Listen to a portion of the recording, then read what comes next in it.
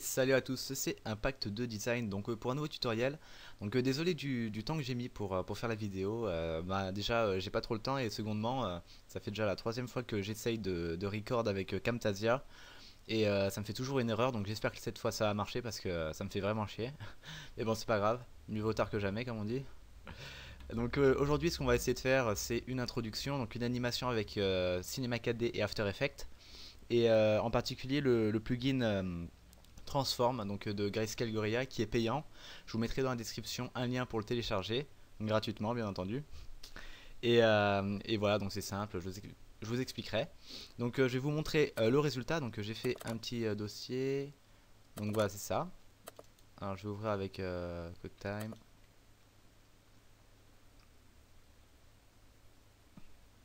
Je vais le mettre plus petit parce que la qualité est pas top top je trouve. Donc voilà c'est ça.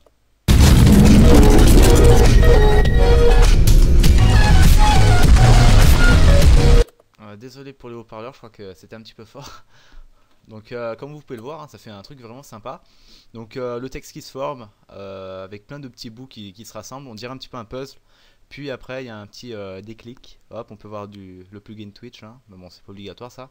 Et le texte qui se, qui se détruit, qui se désintègre petit à petit de l'avant vers l'arrière. Donc on va essayer de faire ça.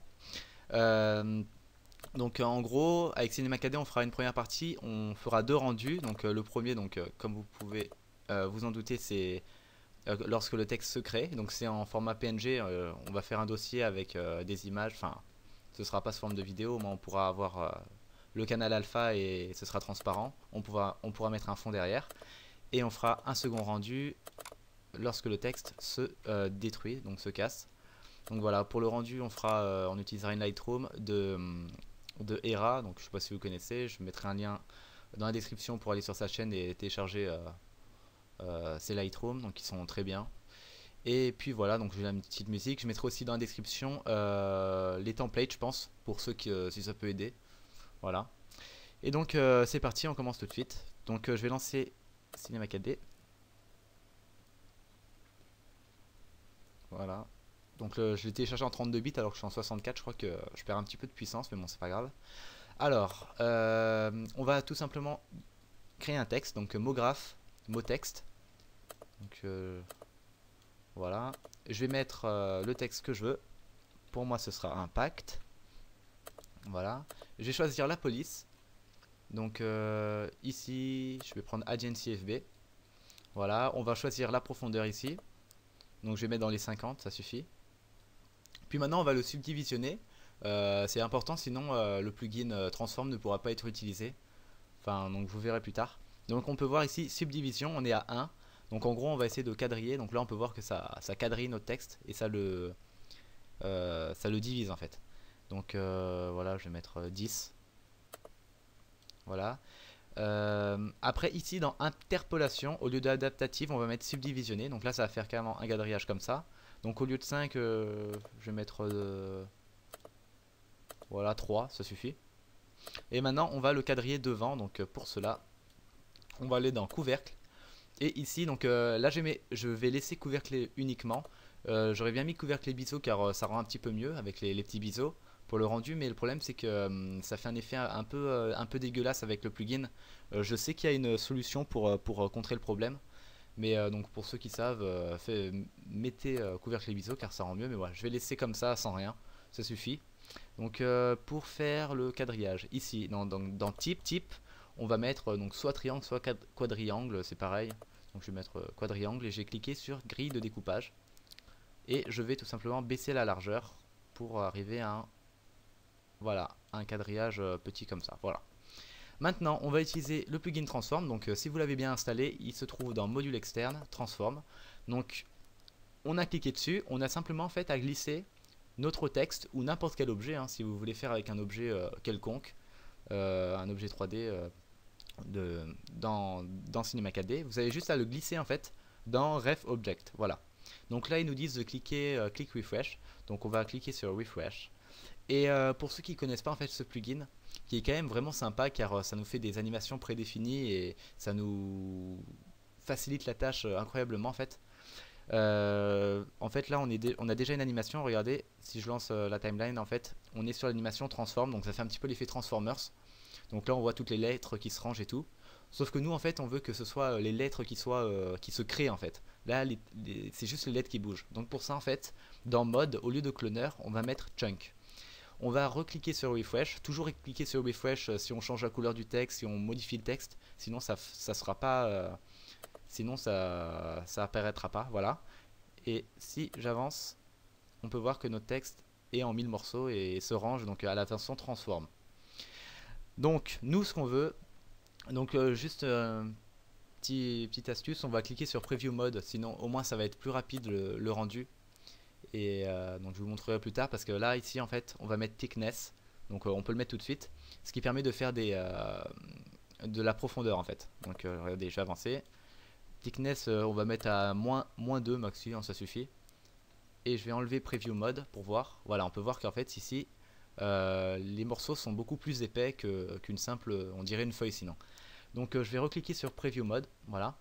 non bah avant je vais vous montrer juste parce que là ça fait aussi un petit truc dégueulasse si on va jusqu'à la fin, donc euh, au début, lorsque le texte est toujours formé, on va faire un petit rendu et là on peut voir que on, peut voir toutes les pièces qui sont euh, délimitées. Euh, enfin, c'est vraiment très moche. Donc pour cela, il faut tout simplement cliquer sur Weld ici, donc dans le dans le menu Chunk Mode, et on va cliquer dessus. Et là, logiquement, si on fait un rendu, voilà, c'est tout propre, c'est tout beau. Donc voilà. Maintenant, je vais recliquer sur Transform, je vais cliquer sur Preview Mode pour aller plus vite, et euh, je vais vous montrer euh, toutes les animations, pour ceux qui ne connaissent pas, euh, car vous, n'êtes pas obligé de faire la même que moi, hein. soyez un petit peu original, enfin je fais un tutoriel, mais vous pouvez très bien faire celle, qui vous, celle qui vous plaît, car il n'y a pas tout le monde qui va aimer. En tout cas la mienne, enfin celle que j'ai utilisée dans l'intro, c'est la première, Beam Me Up. On peut voir que en fait, le texte, monte comme ça. Sauf que moi, on veut que le texte apparaisse. Donc pour cela, on va tout simplement aller dans Transition. Au lieu de Out, on va mettre In. Donc c'est à l'envers. Et c'est le texte qui apparaît comme ceci. Voilà. Voilà, c'est très beau. Maintenant, euh, on a plusieurs, euh, plusieurs effets. Vous, pouvez tous les, tous les tester hein, si vous voulez. Il y en a des pas mal, il y en a des vraiment bien, d'autres des moins bien. Donc euh, vous essayez. Voilà, par exemple Zipper. Voilà, non, franchement, c'est vraiment un super plugin et je vous conseille de, l'utiliser. Et donc euh, bon, je vais retourner sur Beam Me Up moi parce que je vais essayer de reproduire euh, exactement la même intro. Voilà. Alors après, ici, on a des petits réglages. Euh, bon, moi, je vais pas changer parce que ça sert pas trop. Enfin, je veux dire, on a déjà un bon résultat comme ça. On a le mouvement. On peut voir que plus on l'augmente, plus, plus ça s'espace, on va dire. Donc, je vais laisser à peu près comme ça. Pareil pour la rotation. Randomness. Voilà, bon, je vais laisser dans les. Je me rappelle plus. Voilà, c'est dans les 50, je crois. Pareil ici, time remap. Ouais, bon, je vais laisser comme ça. Après, ce qu'on peut faire, euh, pour ceux qui veulent un, pour ceux qui veulent un petit touche de réalisme en plus, de, que ce soit plus joli, c'est utiliser un effecteur randomisation. Euh, petit problème là aussi, il faut faire plein de réglages, sinon en fait le résultat sera pas joli. Je vais vous montrer vite fait, mais ça c'est vraiment pas obligatoire parce que moi j'ai galéré. Euh, on va tout simplement aller dans MoGraph, euh, effecteur, effecteur randomisation. On va aller dans Transform ici et on va cliquer sur Post Effector. On a une nouvelle fenêtre qui s'ouvre ici. On a simplement à glisser effecteur randomisation dans Effector. Voilà. Donc là, on peut voir qu'il y a tout qui voilà, il y a tout qui est euh, dans tous les sens. On va cliquer sur effecteur randomisation et on va aller dans paramètres ici. On va décocher position. On va simplement euh, cliquer sur rotation et on va mettre dans les 20%, 20 degrés. Voilà. Sauf que là maintenant on va se placer au début, donc lorsque ça commence, on va dire ici. Et on va aller dans atténuation, on peut voir que l'influence est à 100%. Si on baisse à 0%, euh, notre texte redevient normal. Donc on va rester sur 100%, on va avec CTRL ou commande sur Mac, euh, cliquer sur la petite boule à, gauche d'influence, ça devient orange donc ça nous a créé une, une, une clé, une euh, keyframe. Et on va avancer à la fin lorsque le texte euh, est créé. Et on va baisser jusqu'à 0%. Et euh, on va recliquer avec CTRL sur la petite boule et ça devient orange à nouveau. Voilà. Donc en gros, ce qui est bien, c'est que là en fait, il y a une petite rotation de toutes les pièces et ça rend un petit peu mieux, mais on n'est pas obligé car en fait, on peut voir que si je me mets à la fin, je crois pas que le résultat soit super. Voilà, on peut voir les petites pièces du, puzzle, on va dire. C'est pas totalement euh, bien formé en fait, donc c'est un petit peu dommage, car ça rendait bien. Moi, je sais plus comment je l'ai fait, donc je suis désolé.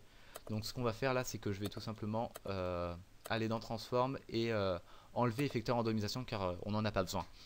Maintenant, on va créer une texture à notre texte. Donc double-clic ici, ou alors créer nouveau matériau. À nouveau double-clic sur la petite boule. Euh, bon, moi je vais mettre du orange. Voilà. Ok. Je vais enlever spécularité. Je vais mettre réflexion ici. Et la réflexion, je vais mettre dans les 20%. Voilà. Et je vais la glisser sur impact. Voilà. Euh, si ça apparaît pas directement. Ah bah non, non, c'est bon, c'est. Rien du tout. J'ai si ça apparaît pas pour certains, en fait, il faut simplement cliquer sur refresh. Voilà. Euh, maintenant, on va ajouter notre, euh, notre Lightroom pour avoir un rendu vraiment plus beau, plus joli. Donc, moi, elle est ici. Donc, c'est voilà, c'est celui-là. Donc, c'est le pack de Hera. Il a fait un pack pour ses 15 000, abonnés. Donc, franchement, il est efficace vu que j'ai téléchargé que ça sur mon ordinateur pour l'instant. Ça me suffit largement. donc, c'est dans Light Studio et Hera Basic Studio Giveaway. Bon, là, en fait, j'ai pas envie de m'embêter. On peut faire fichier, fusionner et cliquer sur, euh, sur notre, euh, notre sauvegarde là. Sauf que moi, je vais tout simplement faire. Euh, je vais tout sectionner. Je vais faire édition, copier. Je vais ouvrir ma Lightroom et je vais faire coller. Voilà, parce que j'ai un petit peu la flemme. Donc je vais avancer. Voilà, on va mettre notre texte à la place de son texte à lui. Car on ne le veut pas. Je vais supprimer change this car il ne sert à rien. Je vais me placer comme ceci. Je vais enlever Preview Mode et on va faire un petit rendu pour voir. Voilà, hop, je lance. Donc faut savoir que ça va être un petit peu long hein. pour les rendus. Euh, faut s'attendre à passer toute la journée sur des rendus, je pense, car c'est pas non plus des petits rendus. Euh, des petits rendus vu que c'est avec illumination globale, occlusion ambiante et tout. Enfin, enfin bon, des Lightroom quoi. Et donc euh, ça met pas mal de temps. Donc sinon on peut voir que ça fait un rendu assez, assez joli. Donc voilà, sauf que là en fait, je vais arrêter parce que bon, on a vu à peu près à quoi ça qu'est-ce que ça rendait. Alors attendez, ça bug, voilà. Ce que je vais changer maintenant, c'est euh, l'orientation du, du, texte en fait. Parce que là, il se crée de gauche à droite. Moi, ce que je veux, en tout cas euh, pour moi, c'est qu'il se crée de derrière jusqu'à devant en fait. Donc pour ça en fait je vais aller dans Transform ici et orientation, attends je vais mettre Preview Mode parce que ça rame. Orientation au lieu de moins Y je vais mettre moins Z et on peut voir que là notre texte se crée voilà, comme ça, de derrière jusqu'à devant. Donc ça rend mieux, mais si vous voulez, vous pouvez mettre n'importe quelle orientation euh, comme vous voulez.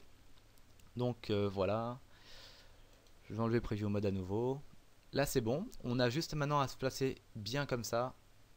Donc euh, vous placez bien votre texte. On va aller dans les rendus ici, donc le, petit, le petit icône à droite là. La sortie en fait, on va aller dans film vidéo, oups, film vidéo, HDV, HDTV, 720 29.97. Alors je vous conseille de mettre en, en 720 car en fait le rendu sera plus, court vu qu'il sera plus petit. Et vu que je pense que c'est sur YouTube, ça sert à rien de mettre, en 1080 vu que ça, vous, servira à rien à moins que vous voudriez, à moins que vous voulez euh, avoir vraiment un rendu propre et vraiment en bonne qualité. Mais 720 ça suffit largement. Donc sinon, film vidéo, AGV, AGTV, 1080 voilà. 720, 1280, 720 ça suffit. Euh, enregistrer donc normalement c'est déjà tout, euh, tout, pré-réglé vu que c'est une sauvegarde du, de la Lightroom là. Euh, canal alpha, il faut pas oublier de le cocher, sinon en fait il y aura un fond, le fond ne sera, ne sera pas transparent et on pourra pas mettre ce qu'on veut derrière. Le chemin d'accès, vous choisissez, vous créez un dossier sur votre bureau et donc je vous montre peu. si vous n'avez pas compris, vous faites New folder, bon là je vous prends pour, pour des bêtes, vous savez quand même faire ça. Vous créez un nouveau dossier et vous mettez le chemin d'accès dans le dossier en fait. Au moins on aura toutes les images dans ce dossier. Sinon, si vous faites pas ça, ce sera sur le bureau, il y aura toutes les images et c'est horrible, c'est horrible à tout ranger et tout, euh, ce sera le bordel. Donc voilà. Après, multipass, on s'en fout. Anti-aliasing au mieux 1 x 1, 4 x 4, c'est bon. Ou 2 x 2, enfin, je me rappelle même plus. Mais bon, ça suffit. Euh, occlusion ambiante, illumination globale, c'est bon. Donc maintenant, on va faire le rendu. Donc on va cliquer ici. Il faut faire attention en fait euh, de ne pas bouger la caméra car on va faire un second rendu juste après. Donc on se place bien comme on veut. Je vous conseille d'ailleurs euh, pour ceux qui veulent tester les animations car vous pouvez être surpris et être déçu pour certaines. Vous croyez qu'elle est super bien mais en fait c'est grave nul. Vous faites un rendu en 320, donc ici la sortie vous mettez en, en écran 320-240, vous enlevez illumination globale, occlusion ambiante, vous enlevez anti-aliasing et vous faites un rendu. Le rendu met 30 secondes et vous voyez à peu près l'animation que ça fait. Et au moins vous n'aurez pas de surprise après euh, parce qu'avoir attendu 7 euh, heures pour un rendu qui au final euh, est merdique, ça fout les boules. Donc je vous donne un petit conseil juste, une petite astuce, donc voilà.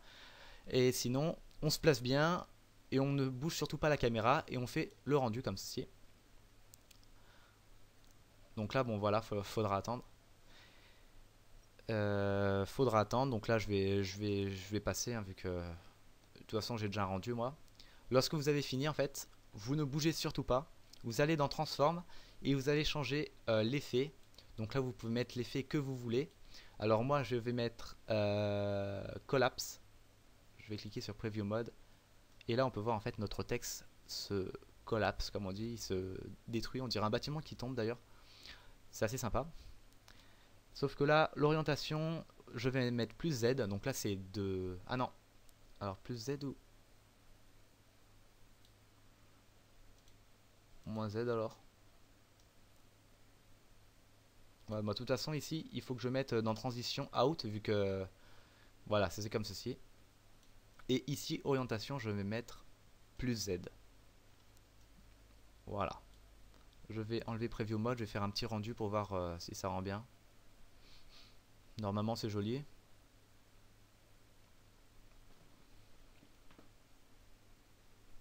Voilà, c'est plutôt sympa.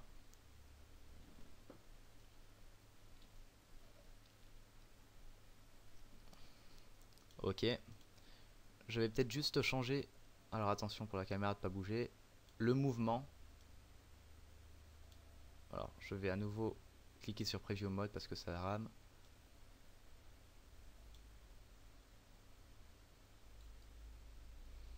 Alors attendez, je le vois plus. Alors qu'est-ce que... Ah voilà. Voilà, je vais... En fait, j'ai augmenté le mouvement ici. Au moins, les pièces tombent un peu plus bas. Parce que sinon, euh, le mouvement était à zéro. Euh, était pas, pas loin. Et en gros, on voyait les pièces tomber juste là. Donc, euh, juste là, je montre avec ma main. Je suis bête juste ici. Donc euh, ça rendait pas très bien, donc je vais augmenter. Voilà, au moins elle tombe euh, en dehors de la vue de la caméra. Voilà, comme ça, comme ça, comme ça c'est super. Et lorsque vous avez fait ça, on déclic Preview Mode et, euh, et c'est bon. Et vous faites un nouveau rendu en spécifiant un nouveau en oh je dis des mots bizarres. et vous allez dans enregistrer, vous mettez un nouveau chemin d'accès, un nouveau dossier, et vous faites le rendu comme ceci. Voilà, donc vous, vous aurez deux rendus. Et là, dès que c'est fini, on se retrouve pour la seconde partie du tutoriel euh, sur After Effects où on va euh, faire le compositing. On va mettre les deux animations euh, ensemble et tout. Donc ça va être super. Voilà, à toutes.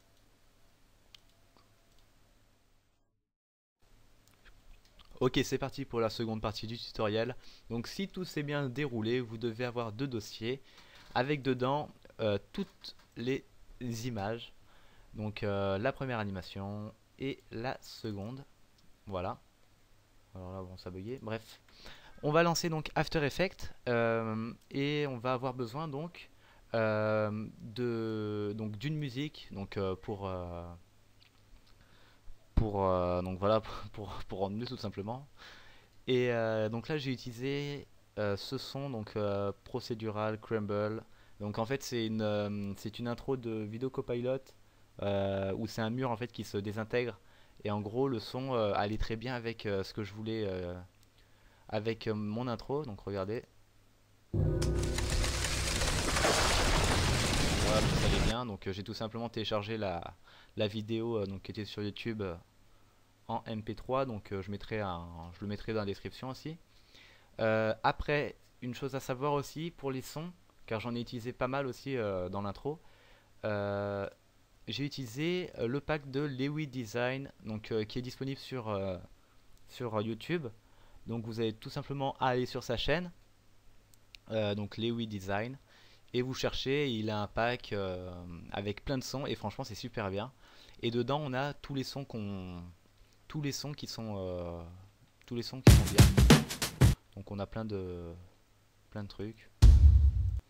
Donc bon, je ferai après ça.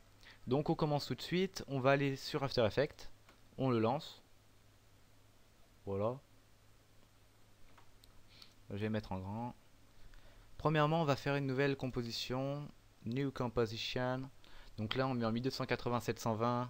Donc euh, si euh, on avait fait ces réglages sur Cinema KD, sinon en 1920 x 1080, si c'est en 1080 bien entendu, euh, frame rate 29.97, résolution full donc ça s'en fout, time, duration, j'ai mis 30, ouais, 15 on va mettre, après on pourra le régler, ok.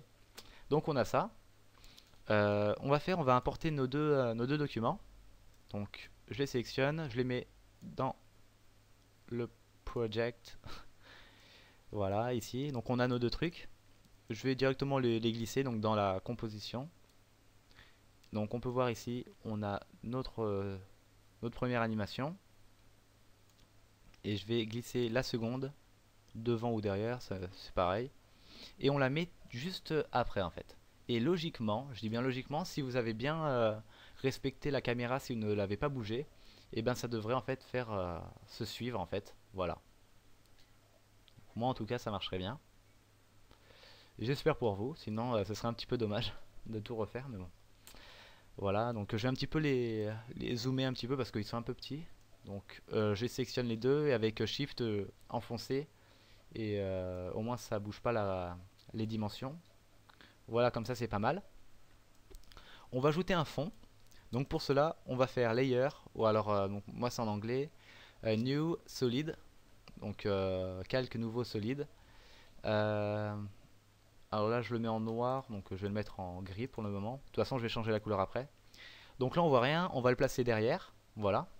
Ce qu'on va faire, on va le créer en 3, on va mettre en 3D. Donc ici on peut voir 3D, 3D layer, donc calque 3D le petit rectangle là, et on va cliquer dessus.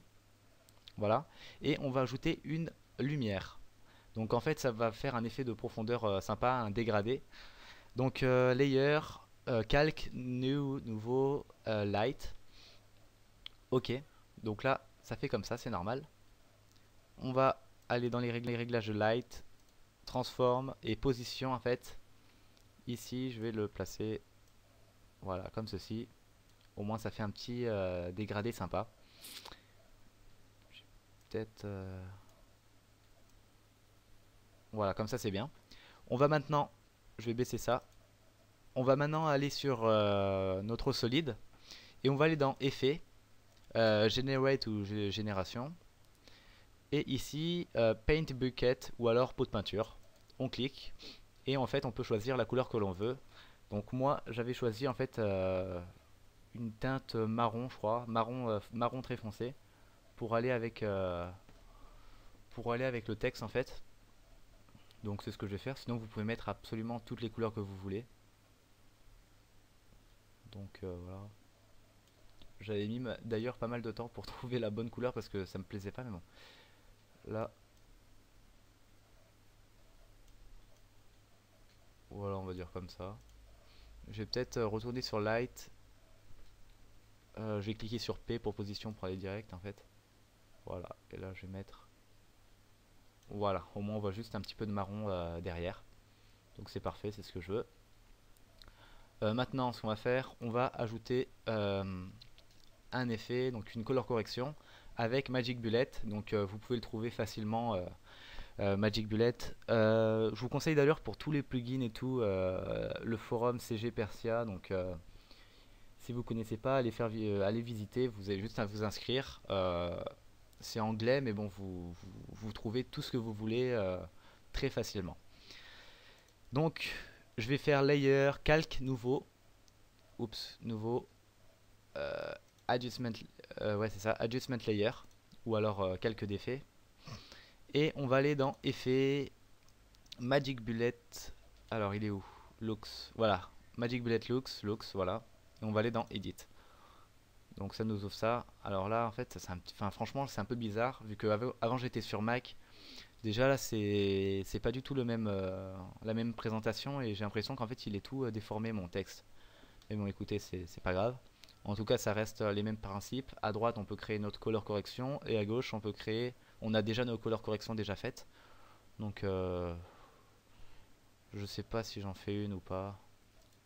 Là, vous faites comme vous voulez en fait. Je vais en chercher une. Euh, bon, elles sont toutes un peu moches en fait. Bon. Bon, vous savez quoi, je vais en faire une vite fait, mais c'est vraiment rapide. Alors attendez, comment on fait pour retourner en arrière? Ah. Bon, je vais devoir tout enlever à la main. Désolé. Donc je vais faire une petite color correction mais vraiment rapide. Euh, dans post, alors c'est... Euh, putain c'est même pas les mêmes noms en fait. Voilà, color range. Et là en fait là on peut changer... Euh,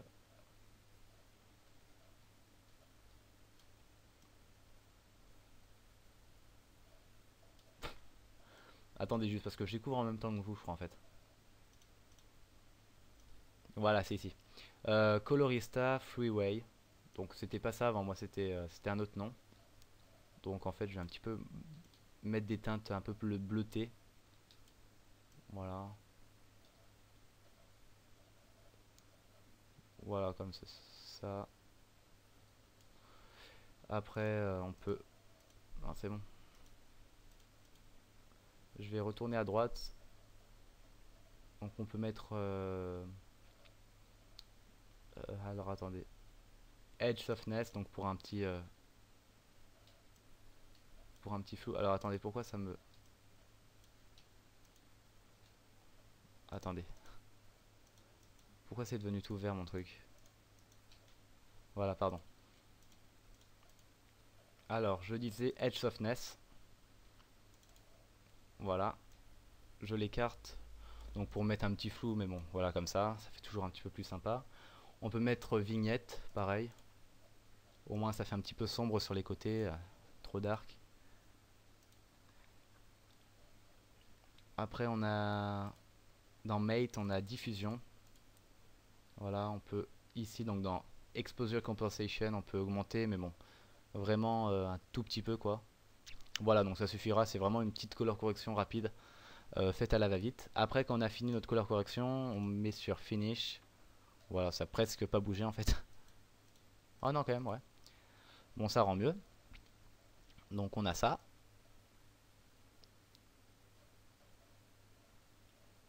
Voilà. Donc euh, ce qu'on va faire maintenant, on va créer une nouvelle composition, New Composition, OK. Et on va aller dans Project ici et on va glisser notre composition 1 dedans. Voilà. Ce qu'on va faire, on va ajouter euh, des bandes noires déjà. Donc euh, pour faire un petit peu effet film. Donc moi j'aime bien. Après, c'est comme vous voulez. Donc je vais faire layer, new, solide. Donc euh, calque nouveau solide. La couleur je vais la mettre, je vais la mettre noire. Ok, donc ça nous remplit tout. Je vais tout simplement l'abaisser et la mettre euh, voilà à peu près ici. Et je vais faire CTRL C, CTRL V ou commande C, commande V sur Mac et euh, faire pareil en haut. Voilà, en essayant de faire à peu près les mêmes mesures. Voilà, donc je préfère.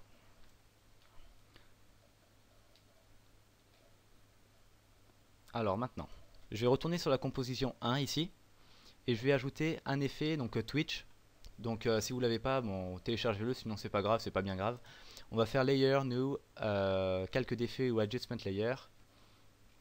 Voilà. Je vais ici, donc avec sur la timeline, le diminuer et le faire apparaître seulement, même pas une seconde en fait. On peut ici le couper donc en glissant avec la souris pareil du côté droit voilà et en gros je vais le faire apparaître seulement entre euh, l'animation 1 et l'animation 2 en fait lorsque les deux euh, Voilà, lorsqu'en fait le texte va commencer à se détruire. Donc pour cela, Adjustment Layer, on clique dessus. On va aller dans Effets, euh, Video Copilot, Twitch. Alors, on va aller dans Enable et on va euh, tout cocher. Voilà. On va aller dans Operator Control, Slide, Slide RGB Split. Et là, on va mettre... Euh, je vais mettre dans les 50% à peu près. Et dans Amount, au lieu de 100, on va mettre vraiment pas beaucoup, euh, moins de 10. Je vais voir comment ça déjà là. Voilà, c'est vraiment histoire d'avoir un petit un petit choc là. On peut voir que le texte bouge. Je vais peut-être augmenter. RGB split.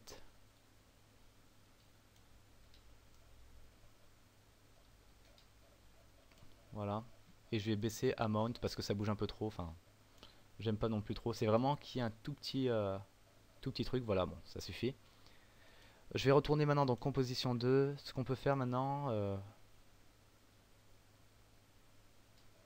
alors avant d'ajouter les, sons on pourrait faire des vibrations quand ça bouge enfin quand, le texte se détruit. Donc pour ça je vais retourner sur la composition 1 et voilà, à partir d'ici en fait, sur euh, ma seconde animation, je vais dérouler, donc transforme, et dans position ici, je vais cliquer sur le chronomètre.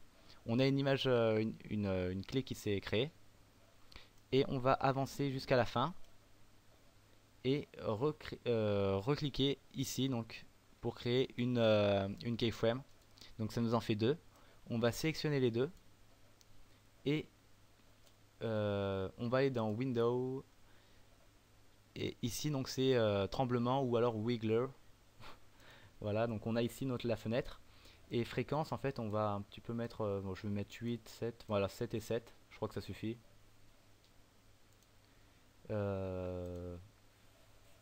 Voilà. Et après, on fait Apply. Et en gros, ça nous fait un tremblement.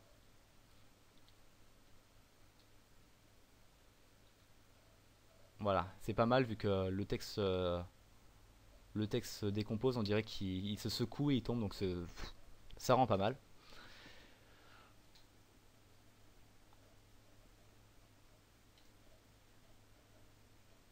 Voilà, je vais peut-être... Bon, on va dire que c'est bon. On va ajouter les sons maintenant. Donc, premièrement, je vais aller dans mon dossier. Euh, je vais ajouter ma petite musique. Donc on peut voir en fait... Ah non, ça c'est le, son du, du craquement. Alors c'est Darius Maliblue. Donc en fait au bout d'un moment, lorsque la musique... Lorsque la musique se lance en fait, ça fait euh, un truc sympa.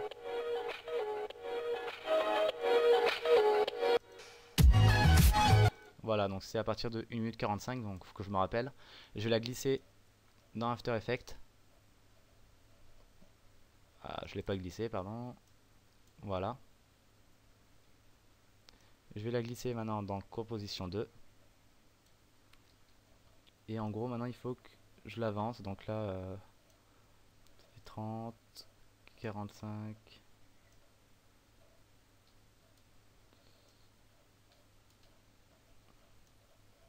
Alors je vais voir là. En fait, là, c'est un petit peu au pif. Je vais faire un petit aperçu alors, au lieu de full, je vais mettre euh, quarter, vraiment euh, qualité merdique. C'est juste pour voir en fait si le son s'accorde.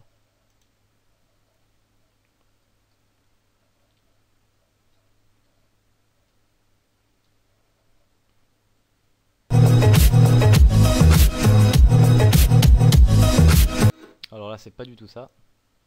Donc j'avance encore. Preview.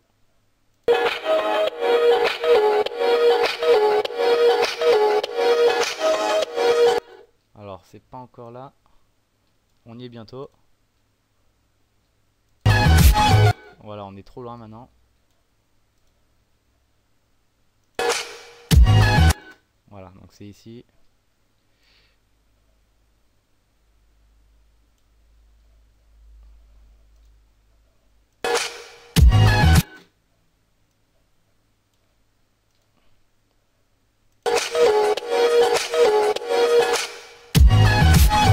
Encore un tout petit peu. Donc désolé, c'est un petit peu chiant, mais on est obligé. Hein.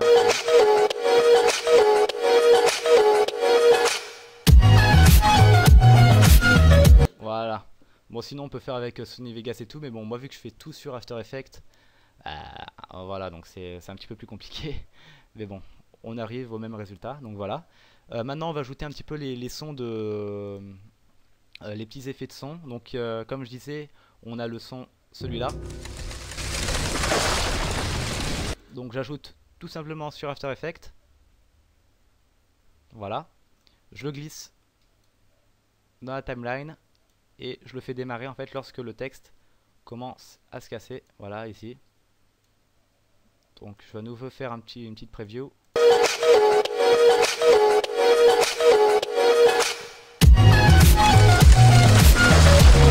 je vais le faire un petit peu avancer, comme ça, bon, ça ira.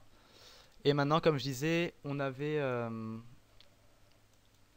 donc dans Documents... Ah non, il est dans mon... Sur mon bureau. Euh, les WeDesign Sound Pack. Et en gros, ici, on a euh, plein d'effets et il va falloir que je trouve en fait. Alors là, ça va être. Euh, donc en gros, je, vais, vais pas le faire parce que ça va mettre trop de temps. Car, car j'ai pas d'idée là, je sais plus trop lesquels c'était que j'avais utilisé. En tout cas, vous, cherchez, vous pouvez les, ajouter sur After Effects et les placer où vous voulez pour avoir le meilleur effet possible. Donc voilà. Alors quand on a fini ça, je me mets en full pour que ce soit plus joli. on va aller dans composition, euh, add to render queue ou alors euh, ajouter à la file d'attente du rendu. Et render setting ici, euh, donc c'est bon je crois. Et donc output module, donc je sais plus comment dire en français. alors là, vu que j'étais sur Mac, maintenant sur PC, je me rappelle plus trop. mais je crois que moi en tout cas j'ai fait avec, avec QuickTime ici. Et format H264, c'est bon. voilà, j'avais mis ça. J'avais mis le format QuickTime. Sinon, on a les formats Windows Media, enfin je me rappelle plus. Désolé pour, euh, pour ça, mais je, je m'y connais pas trop. Et il faut pas oublier euh, de cliquer sur Audio Output pour avoir le son. Et on fait Render. Voilà. Donc euh, ça va assez vite, moi. En même temps, avec 16 Go de RAM, il y a intérêt. Hein. Voilà. Par contre, j'ai oublié. Voilà. Par contre, je sais plus où je l'ai mis.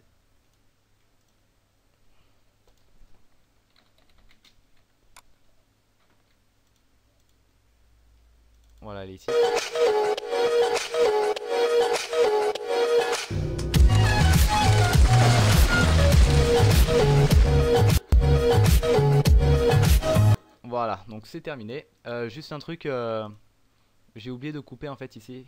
C'est un petit peu trop long, donc faut tout simplement. Voilà, ici en fait, euh, faut qu'on s'arrête vers les 9 secondes parce que sinon ça sert à rien même pas dans les 7 secondes ça suffit. Voilà. Et on refait euh, le rendu. Voilà donc j'espère que ce tutoriel vous a plu. Euh, moi je vous dis à bientôt pour une prochaine vidéo. Euh, encore désolé pour, pour l'attente et, et, mon absence. Franchement je suis vraiment désolé mais je suis vraiment occupé. Mais, mais voilà donc j'espère qu'on se reverra vite pour une prochaine pour une prochaine vidéo un prochain tutoriel. J'ai plusieurs idées donc franchement je m'inquiète pas pour ça. Voilà. Portez-vous bien et à bientôt